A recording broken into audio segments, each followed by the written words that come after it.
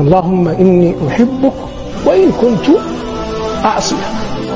اللهم لست بريئا فأعتذر ولا قويا فأنتصر ولكن لا حول ولا قوة إلا لا ينساك الله ولو ظننت أنك بالكاد تتحمل الحياة يأتيك باليسر والفرج في ذلك الوقت.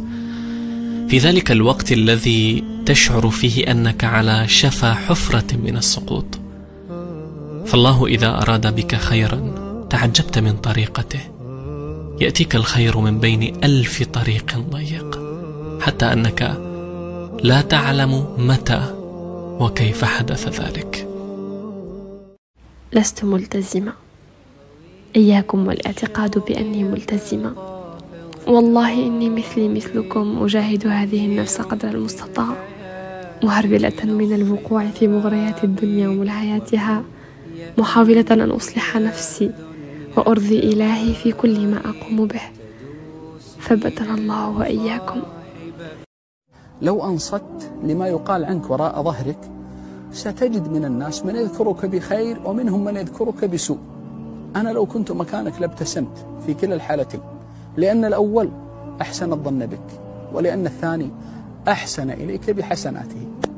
كون ذكرك بسوء في مجلس هذا ما يضرك هذا يسرك لأنه أسدى إليك الحسنات بدون أي تعب. من ابتعد عن الوسادة اقتربت منه السيادة ومن لزم الرقاد حرم المراد ومن أكثر النوم سبقه القوم ومن ترك العمل تركه الأمل. والقمة أساسها قم. يا أيها المزمل قم الليل إلا قليلا يا أيها المدثر قم فأنذر.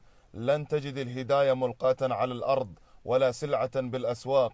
قال تعالى والذين جاهدوا فينا لنهدينهم سبلنا وإن الله لمع المحسنين.